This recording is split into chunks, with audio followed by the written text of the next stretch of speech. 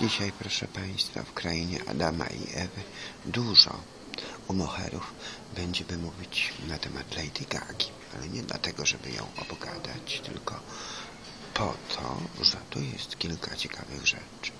Proszę Państwa, to jest taka ciekawa artystka, która być może nie chciała wcale być tą artystką, ale że ponieważ była bardzo zdolna, no to nią potem była, bo tutaj, wiecie Państwo, w Polsce to ktoś za wszelką cenę, na chama, na siłę chce być. No, w związku z tym w szkole aktorskiej na Miodowej 24, tu w Warszawie, na Mazowszu nad Wisłą, w Warszawie, pomiędzy Białymstokiem, Poznaniem, Gdańskim, Krakowem.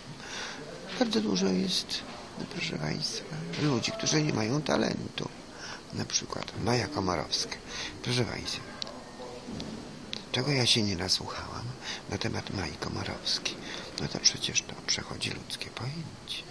Że a talenci, że dyletantka taki, on już nie żyje, literat, dyletantka, Maja Komorowska. No ale my mówimy tutaj o dziewczynie, która no też może ze względu na styl życia nie spodobała się Polakom wielu. Dlaczego? Już z paru zdań, które przeczytałam w sklepie z tej książki, wynika, że ona nie, nie lubiła mężczyzn, nie lubiła chłopów, w sensie tak jak to tu w Polsce się mówi, zwłaszcza, że jesteśmy w Warszawie, wiocha, wiocha na płocie, Warszawa, nie lubiła chłopów.